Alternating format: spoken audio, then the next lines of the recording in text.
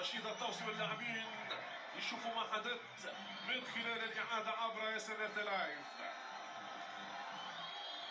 ضربة جزاء لنهضة بركانية حمزة الرقراقي وأنس مرباح من سيصنع البطولة في هذه الليلة؟ من سيصنع الحدث في هذه الأمسية؟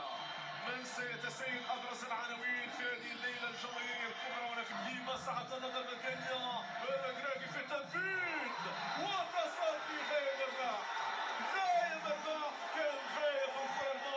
Welcome back to another location.